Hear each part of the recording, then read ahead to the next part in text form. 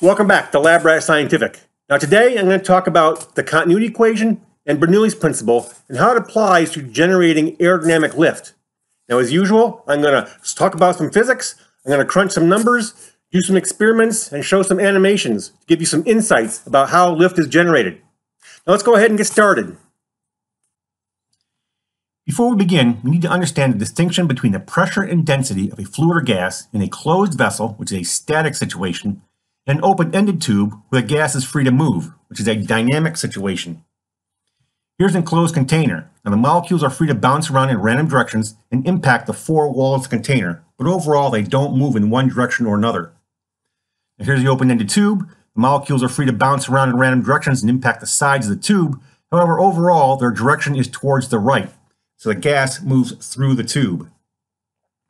Now in aerodynamics, when a flow is subsonic, or below the speed of sound, air can be considered to be incompressible, meaning its density doesn't change. This might cause some confusion due to the fact that we know there are air compressors, which are used to fill things like scuba tanks and car tires. If we use air compressors on a daily basis, how can we say air is incompressible? Now let's take a look at a simple experiment that shows how the air density will change inside of a sealed container as I increase the internal pressure. Here's my experimental setup. I have two identical containers and they have the same internal volume. I can pressurize one of the containers and I'll keep the other container at the ambient air pressure. I'll place the two containers on a balance and compare their masses. First of all, I want to make sure the masses of the containers are identical. And so here they are, both unpressurized. We see the balance is nice and balanced. I'm going to use the air compressor to put 20 psi of pressure in the pressurized container.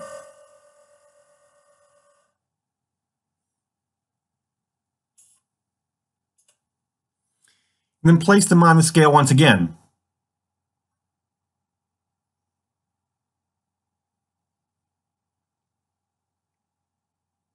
As we can see from the balance, the pressurized container is heavier. Now using the balance, it was determined that 0.7 grams of air was added to the pressurized container when it was pressurized to 20 psi. Now I can calculate the density of the air inside of each container. The volume of each container is 0.0005 cubic meters, and the unpressurized air mass is the density of the air times that volume, or 0.0006 kilograms. Now, if the pressurized container, which was pressurized at 20 psi, of course, the volume is the same, 0.0005 cubic meters, but the air mass is the ambient air mass plus the additional air added, which was 0.0007 kilograms. So we see that the air inside the pressurized container has a mass of 0.0013 kilograms. And that's twice as much as the unpressurized container. So the density of the pressurized container was essentially twice that of the ambient container, thus proving that air can be compressed. Now, when we consider a moving gas that's not constrained by the walls of a rigid pressure vessel, the pressure of that gas can adjust to the physical constraints. Now, this pressure change prevents the gas density from changing. So we can say this moving flow is incompressible. Now, this moving flow introduces a new pressure element, and that's known as dynamic pressure. So a moving flow has both static pressure and dynamic pressure. And it's a balancing of these pressures is what creates lift on an airfoil. The first thing we need to do, though, is look at the conservation of mass and how it applies to a moving fluid. Important point to remember is that conservation of mass in association with a fluid flow requires the flow to be steady, incompressible, non-viscous, and irrotational. This might make some sense a little later on, but for now, let's just keep that in mind. To get started, let's examine the concept of mass flux. Now, experiments show that mass of particles passing any given point in an enclosed tube is the same all along a tube, regardless of the cross-sectional area of the tube. So mass flux is the amount of mass per second passing any given point in the tube. And we know that mass is density times volume. So mass flux is density times area times velocity. And area times velocity is the volume of fluid passing a point every second. Conservation of mass, as evidenced by experiments, says the mass flux does not change along the length of the tube, regardless of the area of that tube. Now to better understand this concept, let's take a look at a simple animation. Here we have a tube represented by the blue lines. This tube has two different cross-sectional areas. The red dots represent molecules moving through this tube, and moving from the left to the right as depicted by the blue arrow. To simplify things, let's just look at 24 mass units. Now we have to remember that this tube is a three-dimensional object, so those mass units actually represent a volume moving through the tube. Now let's take a look and see what happens when these particles move through the tube system. Initially, they're moving relatively slow. But as they move through the smaller diameter area, the velocity of the particles picks up. Let's take a look at that again. We are starting off with a certain pressure pushing the molecules through the tube. They're moving along at a certain velocity. As the area decreases, the velocity of the particles increases. So why does the velocity change? Well, to understand that, we need to take a look at the volumes created by the sets of particles. Now, initially, the particles are stretched out in the vertical direction and relatively narrow in the horizontal direction, but it creates a specific volume.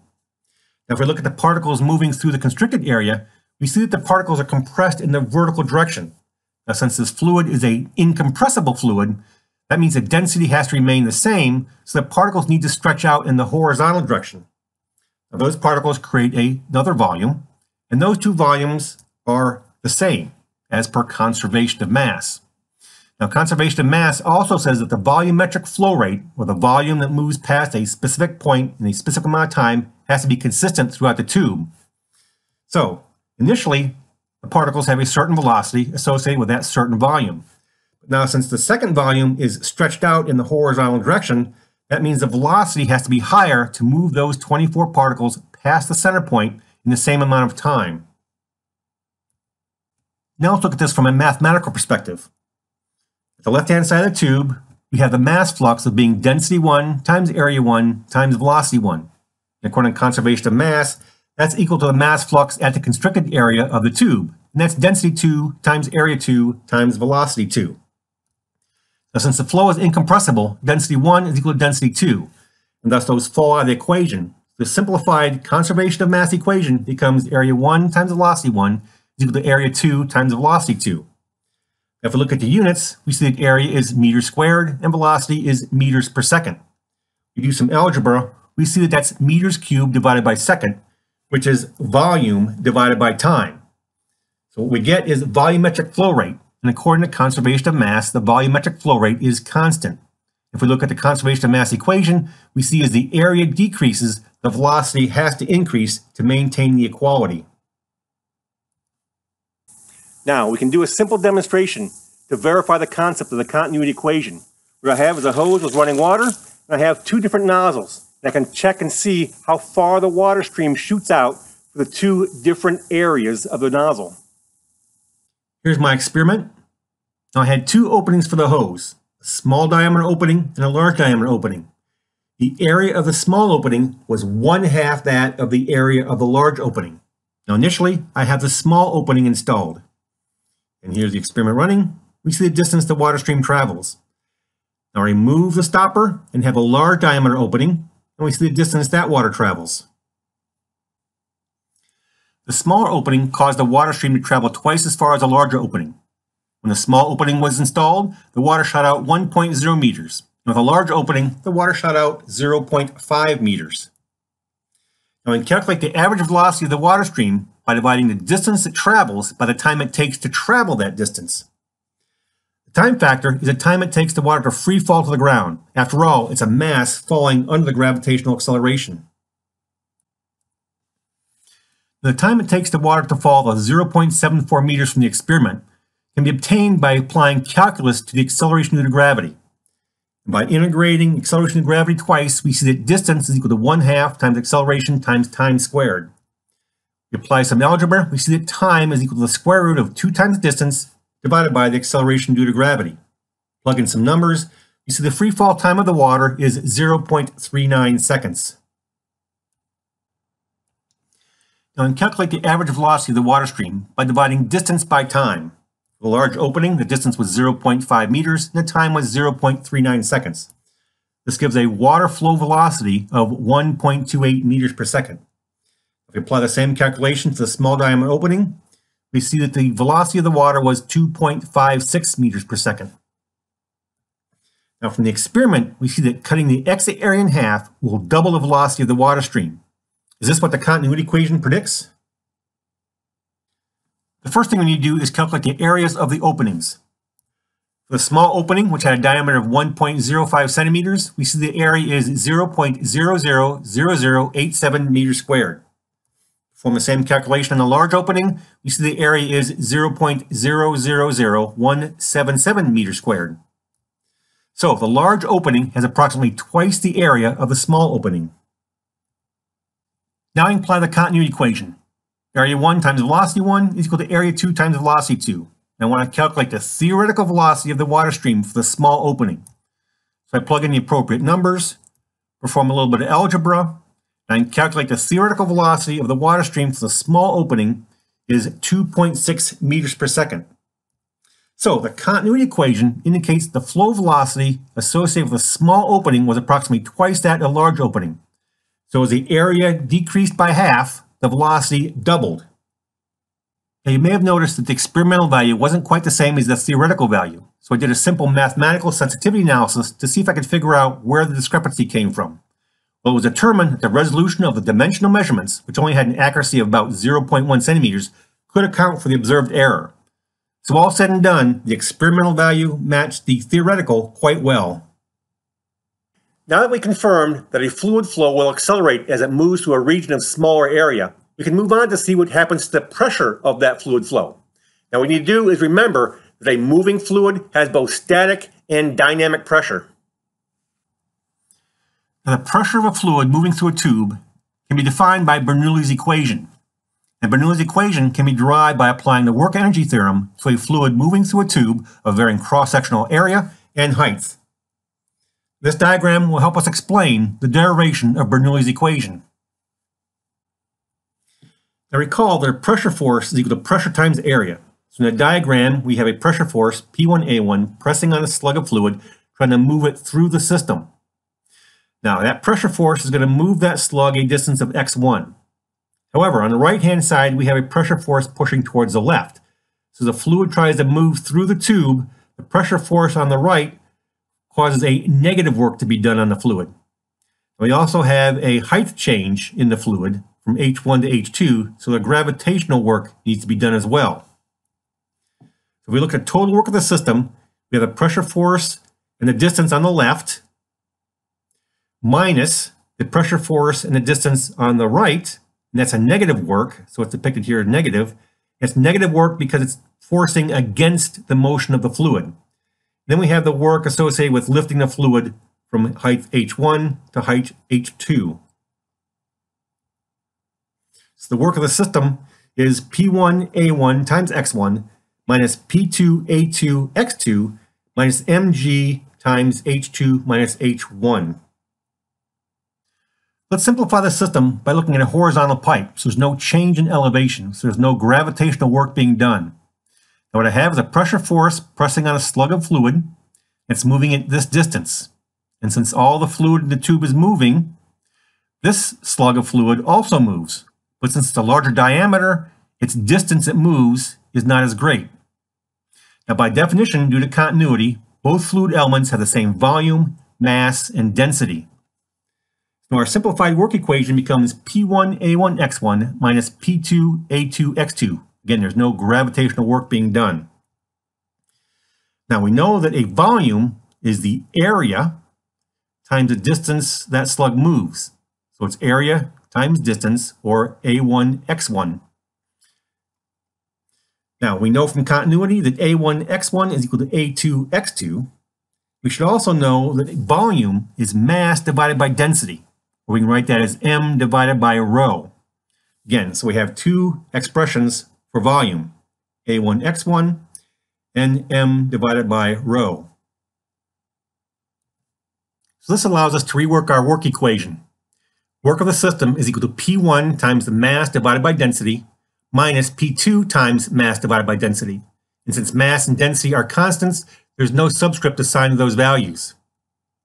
Now, from the work energy theorem, we know that work done on an object is equal to the change in kinetic energy. So we set our work equal to 1 half mv2 squared minus 1 half mv1 squared. Form a little bit of algebra, we see we get P1 minus P2 times mass divided by density is equal to 1 half mv2 squared minus 1 half mv1 squared. So now if we divide each side by m and multiply each side by rho, we get P1 minus P2 is equal to 1 half rho V2 squared minus 1 half rho V1 squared. Now we rearrange to group like subscripts and we get P1 plus 1 half rho V1 squared is equal to P2 plus 1 half rho V2 squared. This tells us that P plus 1 half rho V squared is a constant, and that is Bernoulli's equation. P is known as the static pressure of the fluid flow, 1 half rho v squared is known as the dynamic pressure of the fluid flow. And the combination of P plus 1 half rho v squared is known as the total pressure. So, Bernoulli's principle says that total pressure in the system must remain constant. So this means the static pressure must drop when the dynamic pressure, or the fluid velocity, increases. Here's our flow tube again. At the left-hand side of the tube, we have a static pressure and dynamic pressure. As the flow moves through the constriction, the velocity increases, the dynamic pressure gets higher, and in response, the static pressure gets lower. As we get through the constriction, the static pressure and dynamic pressure return to the initial state. Now let's take a little closer look at the dynamic pressure. Again, dynamic pressure is 1 half rho v squared. The dynamic pressure represents the kinetic energy of the fluid flow. If a fluid has no velocity, there's no dynamic pressure. Now, while the static pressure acts in all directions, the dynamic pressure acts in the direction of the flow. So dynamic pressure isn't really sensed unless you try to block the flow or cause it to stagnate. So here's a diagram showing static pressure and dynamic pressure and the directions they act. Now if we look at the wall of the tube, we see that the velocity of flow normal to the surface is zero. And zero velocity means there's no dynamic pressure. So there's no dynamic pressure acting against the wall. The surface of the airfoil is like the wall of a tube. If the dynamic pressure were pushing on a surface along with a static pressure, in other words, the total pressure, lift could not exist because a pressure imbalance would not occur. Here's a fictitious diagram showing dynamic pressure and static pressure acting in the same direction. Now we have the ambient air pressure in the green arrow pushing upwards and the total pressure pushing downwards. Now, theoretically, when we increase the dynamic pressure by increasing the fluid velocity, the static pressure should drop as the dynamic pressure increases. However, the total pressure of the system remains constant. So downward pressure force is equal and opposite the upward ambient pressure force, and no lift will be generated. Now, if we assume the dynamic pressure is acting parallel to the surface of the airfoil, we see the only forces coming into play in their vertical direction are the static pressure acting downwards and the ambient pressure acting upwards. So we see here that we have a force imbalance causing lift. Now, if we increase the velocity of the airflow, we increase the dynamic pressure, and the static pressure drops to keep the total pressure constant. And thus, we would see that a higher lift is being generated as dynamic pressure increases. Now let's apply the continuity equation and Bernoulli's principle to the flow over an airfoil. But the first thing we need to understand is the concept of streamlines. A streamline traces the path of a particle as it moves over an object. Here we see the velocity of the particle and tracing along, and that line makes up the streamline. Now in a steady flow, streamlines cannot cross one another. However, they can influence one another, in other words, act like a wall of a tube. Now all gas molecules in the flow will follow one streamline or another. The gas molecules will have the same speed and direction as they pass each specific point along a streamline. That's depicted here. As we learned a little bit earlier, lift is due to low pressure on top of the airfoil. And that low pressure has something to do with the velocity of the flow. But what's causing the velocity to increase over the top of the airfoil? Well, one common explanation is the equal time hypothesis. And that says when two particles encounter an airfoil, they split up and have to meet at the back end of the airfoil at the same time. And since the top of the airfoil is curved in a longer distance, the particle over the top of the wing has to move faster. However, wind tunnel tests show that this is not the case. The flow on top of the wing reaches the trailing edge first. Here's some images from a university smoke tunnel demonstration. The smoke traces out the motion of the particles. And from the sequence of images, we can see that the particles going over top of the airfoil are moving faster than the bottom. We see that the particles over the top of the airfoil are getting to the trailing edge sooner. This debunks the equal time hypothesis. So two questions come to mind. Why does the flow follow the contour of the airfoil? And why does the flow move faster over the top surface? Well, let's take a look at our streamline in a particle. Now, Newton says that a particle or an object is going to move in a straight line unless acted upon by an external force. So here's our particle. We tend to want to move in this direction. However, in reality, the particle moves towards the surface of the airfoil. So this means that some imbalanced force must be applied to it to get it to move in that direction. Now the only forces that might exist are frictional forces and pressure forces. And frictional forces would make the particle move in the horizontal direction. So some sort of pressure imbalance must exist. Now, as the particle moves horizontally and thus away from the airfoil surface, it leaves a void. This void creates a small vacuum which pulls the particle towards the surface. As a result, the particle tends to follow the airfoil contour. We see why a streamline near the surface of an airfoil follows a contour. But why does the pressure decrease? Well, to understand this, we have to look at the total system of streamlines flowing around an airfoil. To understand what's going on, let's take a look at two more images from the smoke tunnel tests. First of all, we see that the particles do follow the contour of the airfoil as expected. And here we see that the streamlines seem to be compressed as they move over the top of the airfoil. Here's a simplified diagram of the streamlines. We need to remember that in a steady flow field, streamlines cannot cross one another. Now, a group of streamlines is called a flow tube. The diagram only shows four streamlines making up a tube, but in reality, there are many streamlines contained within that tube. You can see that the cross-sectional area of the flow tube gets smaller as it passes over the wing. This is due to the outer streamlines constraining the inner ones. As the area of the flow tube gets smaller, conservation of mass as the flow will speed up. And Bernoulli's equation says as the flow velocity increases, so does the dynamic pressure. And since the total pressure must remain constant, the static pressure will decrease to balance out the increasing dynamic pressure. And this low pressure creates the lift. Up to now, we've been looking at the airfoil with its bottom surface parallel to the streamlines.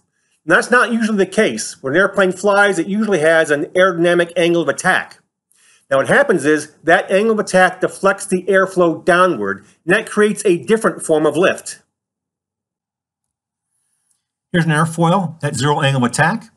Now, the continuity equation and Bernoulli's equation state that low pressure will be generated and some lift will be created. Now, if we apply an angle of attack to the airfoil, gas molecules encounter the bottom of the airfoil and are deflected downwards. Now, according to Newton's third law of motion, action-reaction, as the gas moves downward, the airfoil responds by moving upwards. So this is the high pressure component of lift. Here's an interesting demonstration that is related to Bernoulli's principle. It involves a hair dryer and a small styrofoam ball. Here's my hair dryer shooting straight up. I place a small styrofoam ball in the flow, and it seems to levitate. I can even tap on the ball to try to push it out of the flow, but it tends to want to remain in the airflow.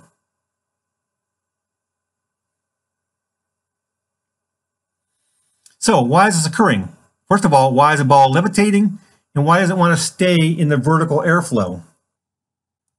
So to explain what's going on, I'll revert to my simple animation. Here I have my hair dryer blowing upwards. You see the ball suspended in the flow. Now the high velocity flow coming out of the hair dryer provides ram air, which creates an upward force. And as the air curves around the ball, it separates on the top and creates a small low pressure region. And that also sucks the ball upwards. So it's those two forces that keeps the ball elevated. So what keeps the ball in the column of air? Well, as the ball wobbles back and forth, it modifies the streamlines. If the ball moves far enough, the streamlines create an inward suction, and the high pressure on the outside of the stream creates an inward force, and the ball returns to the airflow. And if the ball moves in the opposite direction, the opposite occurs, and the ball gets sucked back into the airflow once again. So it's these forces that keep the ball elevated and keep the ball centered in the airflow. And this is related to Bernoulli's principle. There's one more demonstration that's commonly used in the classroom, and that's blowing over a piece of paper. Now, there's a lot of debate out there about whether that actually depicts Bernoulli's principle. Well, I'm going to do some experiments, I'm going to do some explanations, and I'll let you decide for yourself. I decided to use a hair dryer instead of blowing over the paper with my mouth. And I tested the airflow above and below the paper. Now you notice there's not a whole lot of difference in how the paper behaves. Now, if Bernoulli's effect was coming into play, you expect the paper to be sucked downwards when the flow was below the paper. However, it doesn't. This is the basis for the debate on whether this actually demonstrates Bernoulli's principle. Now, one of the arguments is, is as the air blows over the curved paper, it attempts to follow the contour of the paper, and as before, creates a small vacuum which sucks the paper up. So it's not really Bernoulli's principle that's coming into play. To test this concept further, I used a rigid piece of cardboard with no curvature. I did it in a vertical direction so gravity wouldn't come into play. From the experiment, you can see that the cardboard responds to the direction of the airflow. As I pull the airflow away from the cardboard, the cardboard responds by rotating. So the question is, is this Bernoulli's principle, or is there still some kind of separation going on here which causes the cardboard to respond? So what's happening here is I have my hair dryer, that hair dryer is creating a flow tube. And the flow in that flow tube has velocity. And thus, the static pressure in the flow tube will be lower than the surrounding air. And if I move the hair dryer, the cardboard responds. Now, the only way the plate or the cardboard can move is if it's being acted upon by an unbalanced force. This means the pressure must be lower on the side with the airflow. But again, the question is, is this Bernoulli's principle or simply separation of flow? I'll leave it for you to debate and figure out what you think is going on. And that was a pretty complex discussion, and hopefully I didn't lose you along the way. Now, when I was in college studying aerodynamics, I didn't have the luxury of being able to understand the fine nuances of concepts like the continuity equation and Bernoulli's principle because I was too busy doing homework and studying for tests. Now, hopefully, I've given you some insights to help you understand those basic concepts so you appreciate how lift is generated from a theoretical perspective. Well, I hope to see you next time at LabRat Scientific.